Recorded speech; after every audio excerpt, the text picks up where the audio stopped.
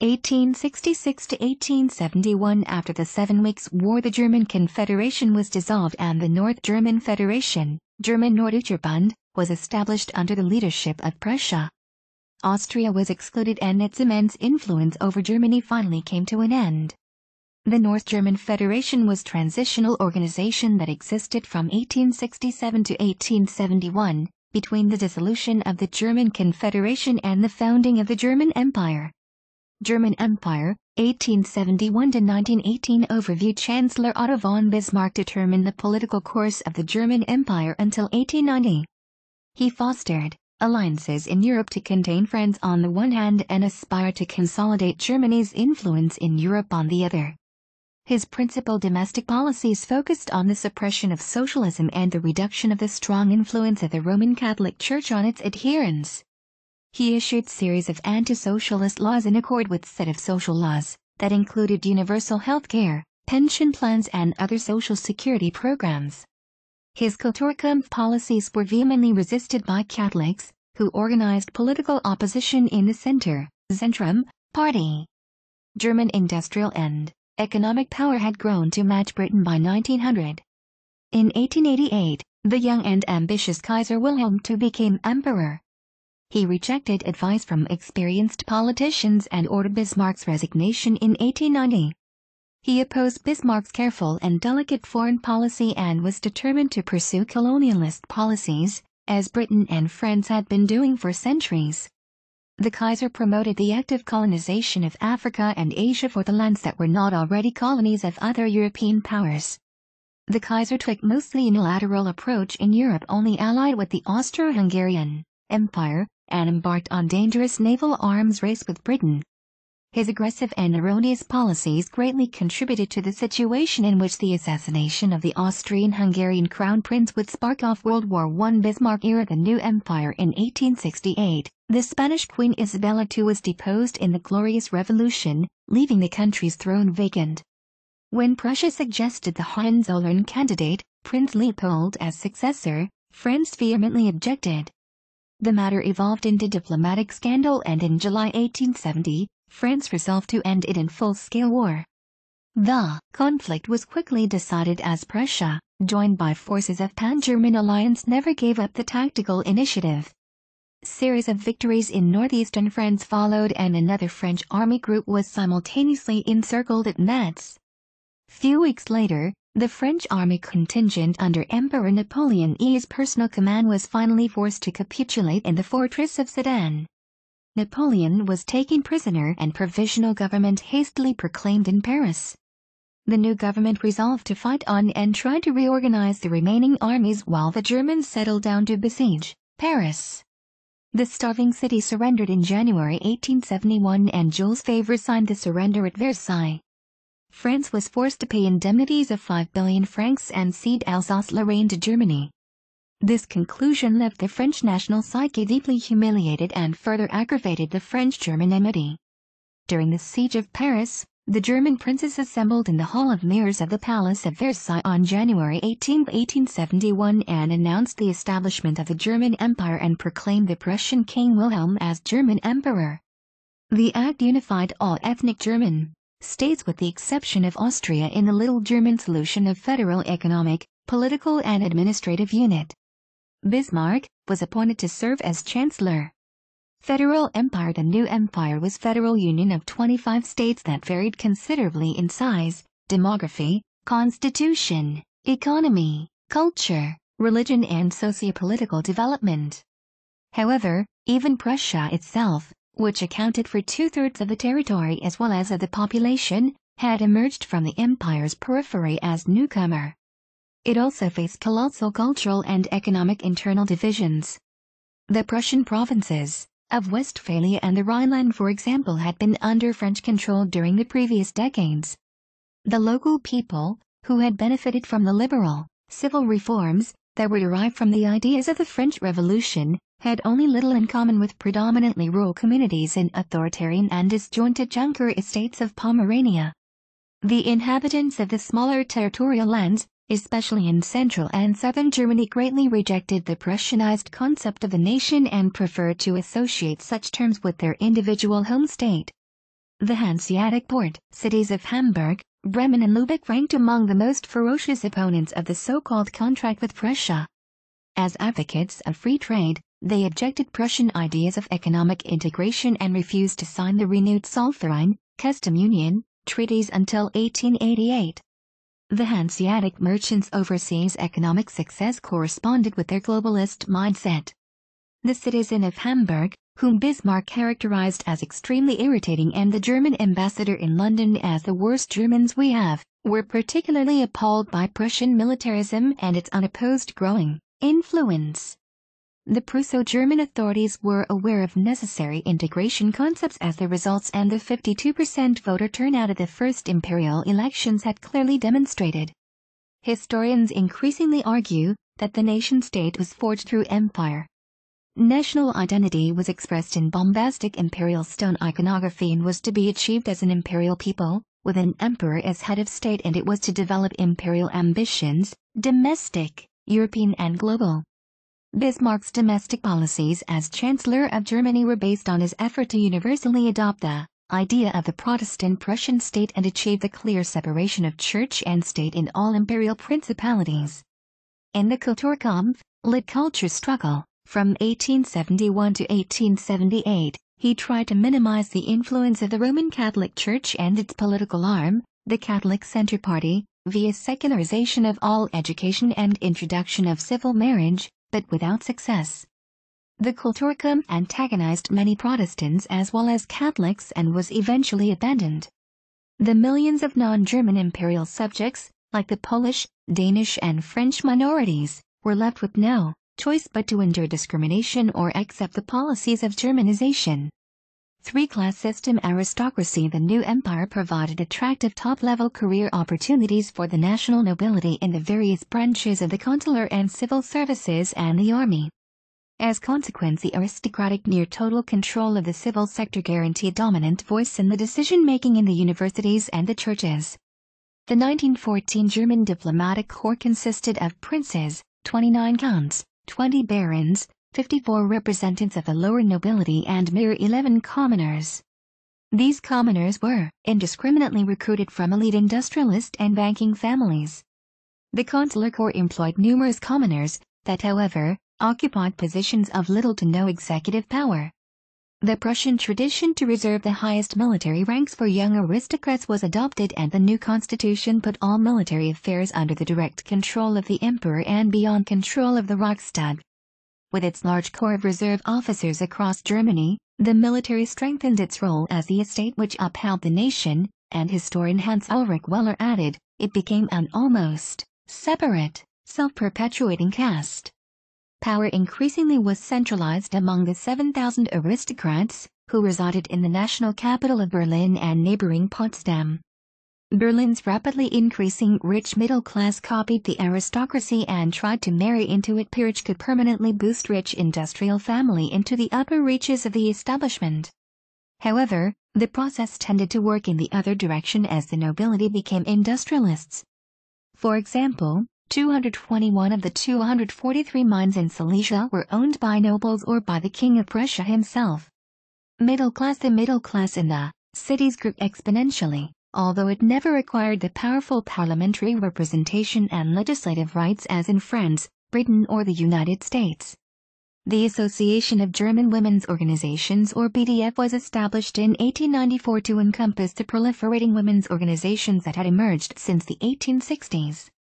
From the beginning the BDF was bourgeois organization, its members working toward equality with men in such areas as education, financial opportunities, in political life, Working class women were not welcome and were organized by the socialists. Working class The rise of the Socialist Workers' Party, later known as the Social Democratic Party of Germany, SPD, aimed to peacefully establish socialist order through the transformation of the existing political and social conditions. From 1878, Bismarck tried to oppose the growing social democratic movement by outlawing the party's organization, its assemblies and most of its newspapers. Nonetheless, the Social Democrats grew stronger and Bismarck initiated his social welfare program in 1883 in order to appease the working class. Bismarck built on tradition of welfare programs in Prussia and Saxony that began as early as the 1840s. In the 1880s he introduced old age pensions, accident insurance, medical care, and unemployment insurance that formed the basis of the modern European welfare state. His paternalistic programs won the support of German industry because its goals were to win the support of the working classes for the empire and reduce the outflow of immigrants to America, where wages were higher but welfare did not exist. Bismarck further won the support of both industry and skilled workers by his high tariff policies, which protected profits and wages from American competition, although they alienated the liberal intellectuals who wanted free trade. Kulturkampf Bismarck would not tolerate any power outside Germany, as in Rome, having say in domestic affairs. He launched the Kulturkampf, culture war, against the power of the Pope and the Catholic Church in 1873, but only in the state of Prussia. This gained strong support from German liberals, who saw the Catholic Church as the bastion of reaction and their greatest enemy.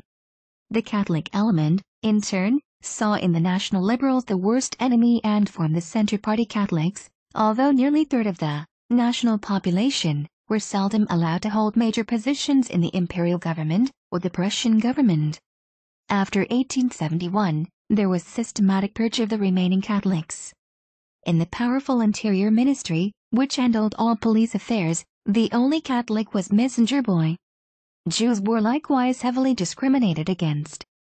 Most of the Kulturkampf was fought out in Prussia, but Imperial Germany passed the pulpit law which made it crime for any cleric to discuss public issues in way that displeased the government.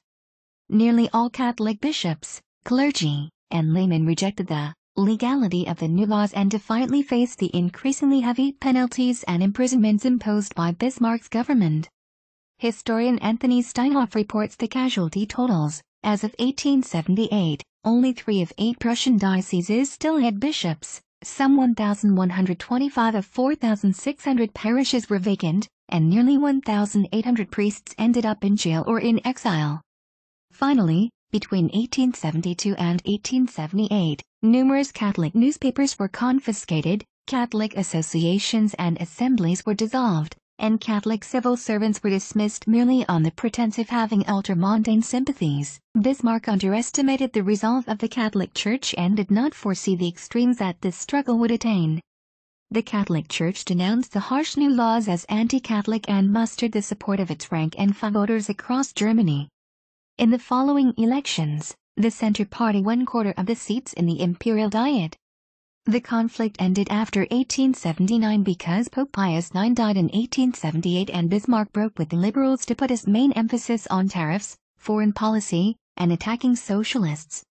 Bismarck negotiated with the conciliatory new Pope Leo XIII. Peace was restored, the bishops returned and the jailed clerics were released. Laws were toned down or taken back, Mitigation Laws 1880 to 1883 and Peace Laws 1886-87, but the laws concerning education, civil registry of marriages and religious disaffiliation remained in place. The Centre Party gained strength and became an ally of Bismarck, especially when he attacked socialism.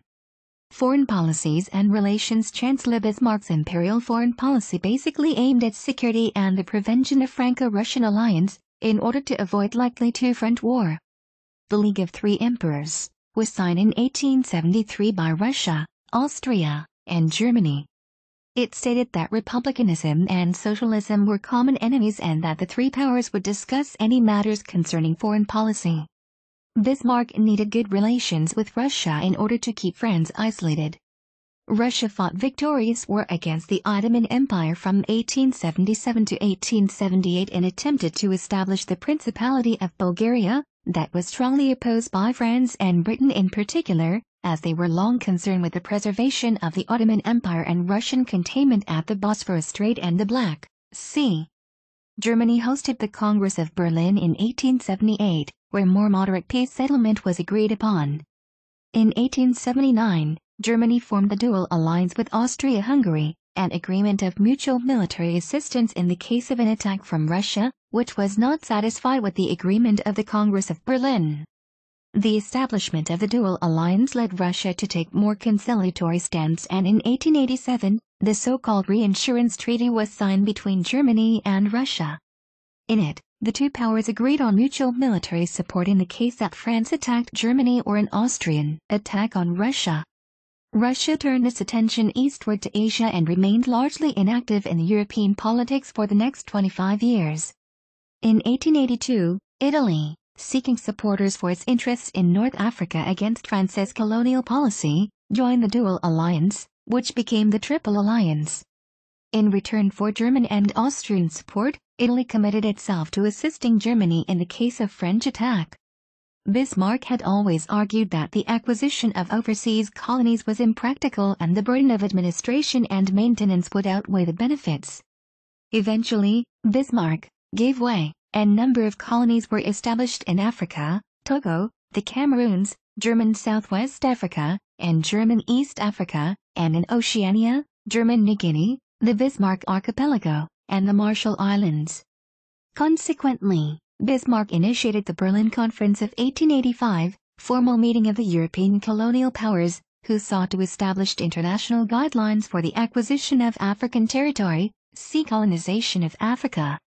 Its outcome, the General Act of the Berlin Conference, can be seen as the formalization of the scramble for Africa and new imperialism. Wilhelminian era, 1888 to 1918, Wilhelm II Emperor William died in 1888. His son Frederick III, opened for more liberal political course, reigned only for 99 days, as he was stricken with throat cancer and died three months after his coronation. His son Wilhelm II followed him on the throne at the age of 29. Wilhelm rejected the liberal ideas of his parents and embarked on conservative autocratic rule. He early on decided to replace the political elite and in March 1890 he forced Chancellor Bismarck into retirement.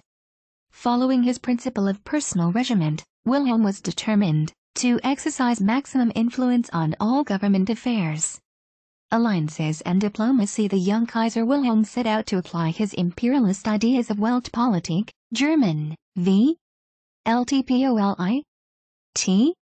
K. World politics, as he envisaged gratuitously aggressive political course to increase the empire's influence in and control over the world. After the removal of Bismarck, foreign policies were tackled with by the Kaiser and the Federal Foreign Office under Friedrich von Holstein. Wilhelm's increasingly erratic and reckless conduct was unmistakably related to character deficits and the lack of diplomatic skills. The Foreign Office's rather sketchy assessment of the current situation and its recommendations for the Empire's most suitable course of action were, first long-term coalition between France and Russia had to fall apart, secondly, Russia and Britain would never get together, and finally, Britain would eventually seek an alliance with Germany. Subsequently, Wilhelm refused to renew the reinsurance treaty with Russia. Russia promptly formed closer relationship with France in the dual alliance of 1894, as both countries were concerned about the novel disagreeability of Germany.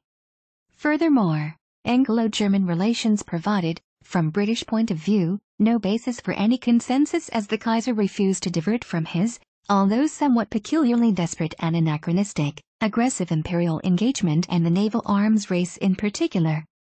Von Holstein's analysis proved to be mistaken on every point. Wilhelm, however, failed to, as he did not adopt nuanced political dialogue. Germany was left gradually isolated and dependent on the Triple Alliance with Austria-Hungary and Italy.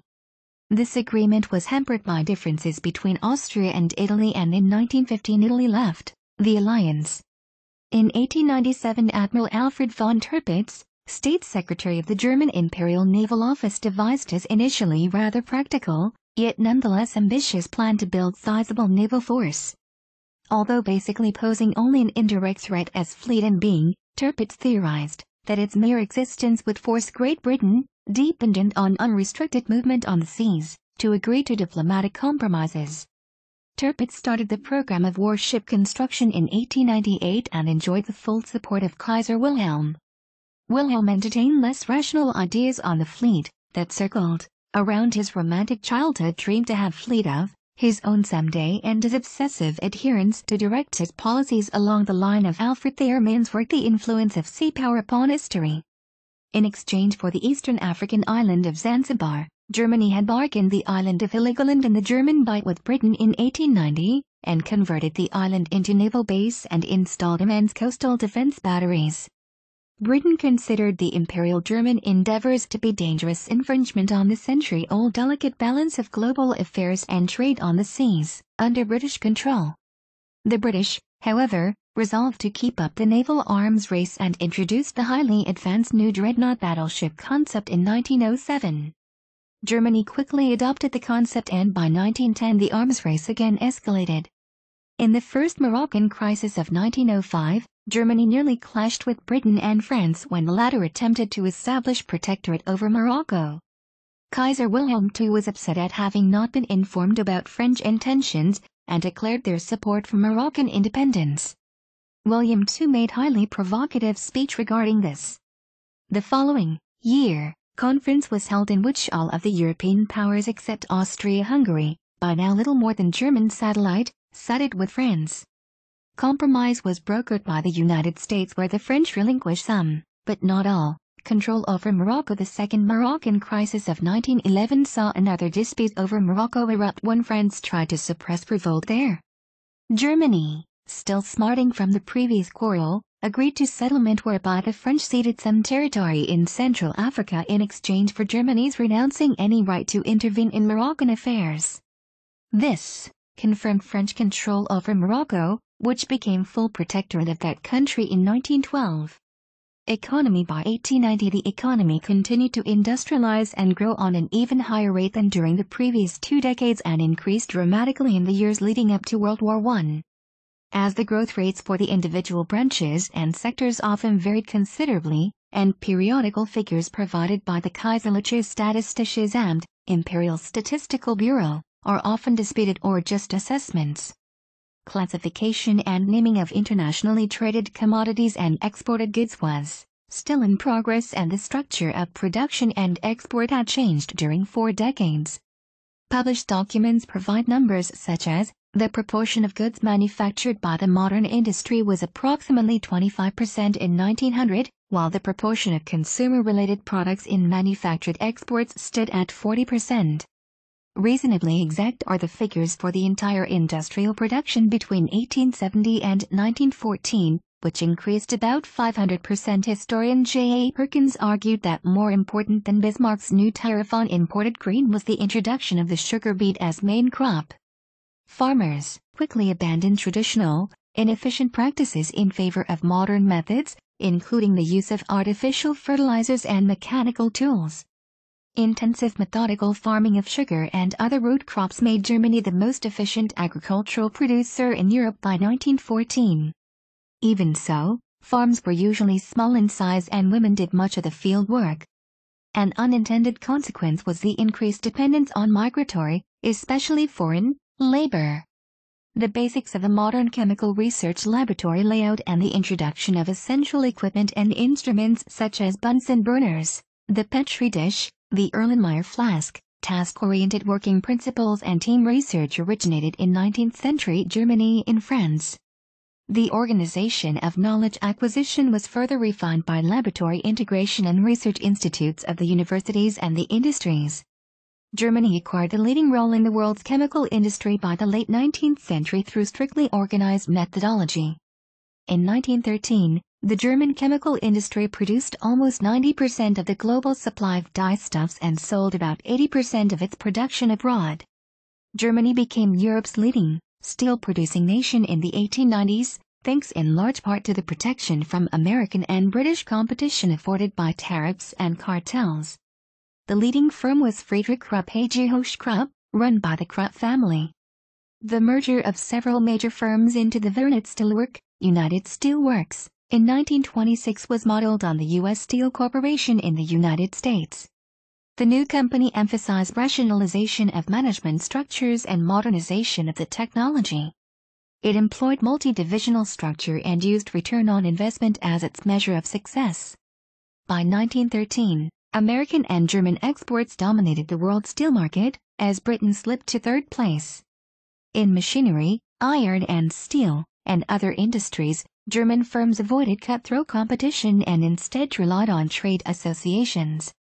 Germany was world leader because of its prevailing corporatist mentality, its strong bureaucratic tradition, and the encouragement of the government.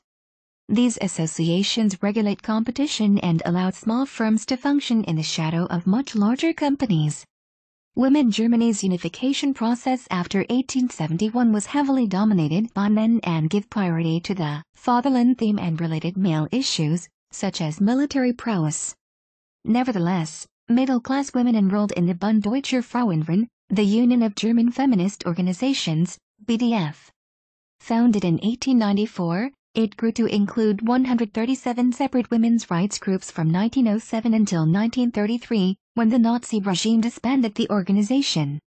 The BDF gave national direction to the proliferating women's organizations that had sprung up since the 1860s. From the beginning the BDF was a bourgeois organization, its members working toward equality with men in such areas as education, financial opportunities, in political life. Working class women were not welcome. They were organized by the socialists. Formal organizations for promoting women's rights grew in numbers during the Wilhelmine period. German feminists began to network with feminists from other countries, and participated in the growth of international organizations. Colonies by the 1890s, German colonial expansion in Asia and the Pacific, Kiautschou in China, the Marianas, the Caroline Islands, Samoa, led to frictions with Britain, Russia, Japan and the United States. The construction of the Baghdad Railway, financed by German banks, was designed to eventually connect Germany with the Turkish Empire and the Persian Gulf, but it also collided with British and Russian geopolitical interests. The largest colonial enterprises were in Africa. The harsh treatment of the Nama and Herero in what is now Namibia in Africa in 1906 to 2007 led to charges of genocide against the Germans. Historians are examining the links and precedents between the Herero and Namaqua genocide and the Holocaust of the 1940s. World War causes ethnic demands for nation-states upset the balance between the empires that dominated Europe, leading to World War I, which started in August 1914. Germany stood behind its ally Austria in confrontation with Serbia, but Serbia was under the protection of Russia, which was allied to France. Germany was the leader of the Central Powers, which included Austria-Hungary, the Ottoman Empire, and later Bulgaria. Arrayed against them were the Allies, consisting chiefly of Russia, France, Britain, and in 1915 Italy. In explaining why neutral Britain went to war with Germany, author Paul M. Kennedy recognized it was critical for war that Germany become economically more powerful than Britain, but he downplays the disputes over economic trade imperialism, the Baghdad Railway, confrontations in Central and Eastern Europe, high-charged political rhetoric and domestic pressure groups. Germany's reliance time and again on sheer power, while Britain increasingly appealed to moral sensibilities, played role, especially in seeing the invasion of Belgium as necessary military tactic or profound moral crime. The German invasion of Belgium was not important because the British decision had already been made and the British were more concerned with the fate of France. Kennedy argues that by far the main reason was London's fear that repeat of 1870 when Prussia and the German states smashed France would mean that Germany, with powerful army and navy, would control the English Channel and northwest France. British policymakers insisted that would be catastrophe for British security. Western Front in the west, Germany sought quick victory by encircling Paris using the Schlieffen Plan. But it failed due to Belgian resistance, Berlin's diversion of troops, and very stiff French resistance on the Marne, north of Paris. The Western Front became an extremely bloody battleground of trench warfare. The stalemate lasted from 1914 until early 1918, with ferocious battles that moved forces few hundred yards at best along a line that stretched from the North Sea to the Swiss border. The British imposed tight naval blockade in the North Sea which lasted until 1919, sharply reducing Germany's overseas access to raw materials and foodstuffs. Food scarcity became serious problem by 1917 the United States joined with the Allies in April 1917. The entry of the United States into the war, following Germany's declaration of unrestricted submarine warfare, marked decisive turning point against Germany. Eastern Front more wide open was the fighting on the Eastern Front. In the East, there were decisive victories against the Russian army, The trapping and defeat of large parts of the Russian contingent at the Battle of Tannenberg, followed by huge Austrian and German successes. The breakdown of Russian forces, exacerbated by internal turmoil caused by the 1917 Russian Revolution, led to the Treaty of Brest-Litovsk the Bolsheviks were forced to sign on March 1918 as Russia withdrew from the war. It gave Germany control of Eastern Europe. Spencer, Tucker says, the German general staff had formulated extraordinarily harsh terms that shocked even the German negotiator. When Germany later complained that the Treaty of Versailles of 1919 was too harsh on them, the Allies responded that it was more benign than Brest-Litovsk 1918 by defeating Russia in 1917 Germany was able to bring hundreds of thousands of combat troops from the east to the Western Front, giving it numerical advantage over the Allies. By retraining the soldiers in new stormtrooper tactics, the Germans expected to unfreeze the battlefield and win decisive victory before the American army arrived in strength. However, the spring offensives all failed, as the Allies fell back and regrouped, and the Germans lacked the reserves necessary to consolidate their gains. In the summer, with the Americans arriving at 10,000 day, and the German reserves exhausted, it was only matter of time before multiple Allied offensives destroyed the German army home front unexpectedly Germany plunged into World War, 1914 to 1918. It rapidly mobilized its civilian economy for the war effort, the economy was handicapped by the British blockade that cut off food supplies. Meanwhile, conditions deteriorated rapidly on the home front, with severe food shortages reported in all urban areas. Causes involved the transfer of many farmers and food workers into the military, an overburdened railroad system, shortages of coal, and the British blockade that cut off imports from abroad. The winter of 1916 to 1917 was known as the turnip winter, because that vegetable, usually fed to livestock, was used by people as substitute for potatoes and meat, which were increasingly scarce. Thousands of soup kitchens were opened to feed the hungry people, who grumbled that the farmers were keeping the food for themselves. Even the army had to cut the rations for soldiers, morale of both civilians and soldiers continued to sink. 1918 was also the year of the deadly 1918 Spanish flu pandemic which struck hard at population weakened by years of malnutrition. Revolution 1918 The end of October 1918, in Wilhelmshaven, in northern Germany, saw the beginning of the German Revolution of 1918-19. Units of the German Navy refused to set sail for last, large-scale operation in war which they saw as good as lost, initiating the uprising. On November, the revolt spread to other cities and states of the country, in many of which workers' and soldiers' councils were established. Meanwhile, Hindenburg and the senior commanders had lost confidence in the Kaiser and his government. The Kaiser and all German ruling princes abdicated.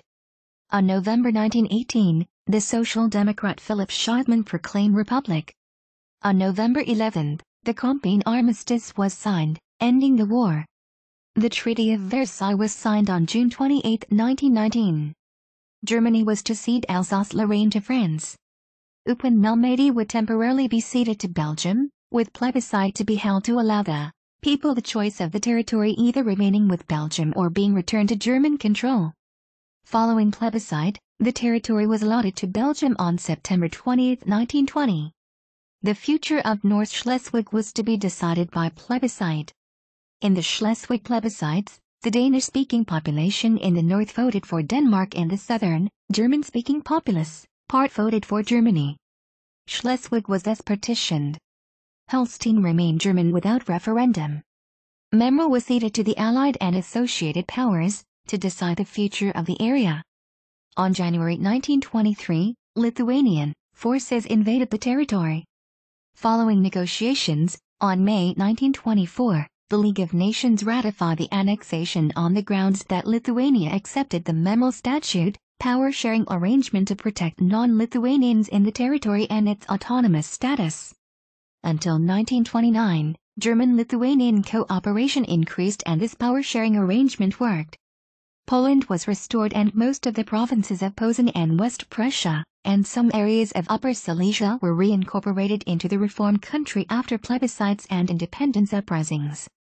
All German colonies were to be handed over to League of Nations, who then assigned them as mandates to Australia, France, Japan, New Zealand, Portugal, and the United Kingdom. The new owners were required to act as disinterested trustee over the region, promoting the welfare of its inhabitants in a variety of ways until they were able to govern themselves. The left and right banks of the Rhine were to be permanently demilitarized. The industrially important Saarland was to be governed by the League of Nations for 15 years and its coalfields administered by France. At the end of that time plebiscite was to determine the Saar's future status. To ensure execution of the treaty's terms, Allied troops would occupy the left, German, bank of the Rhine for a period of 5 to 15 years. The German army was to be limited to 100,000 officers and men. The general staff was to be dissolved. Vast quantities of war material were to be handed over and the manufacture of munitions rigidly curtailed. The navy was to be similarly reduced, and no military aircraft were allowed. Germany was also required to pay reparations for all civilian damage caused during the war. Weimar Republic, 1919 to 1933 overview the humiliating peace terms in the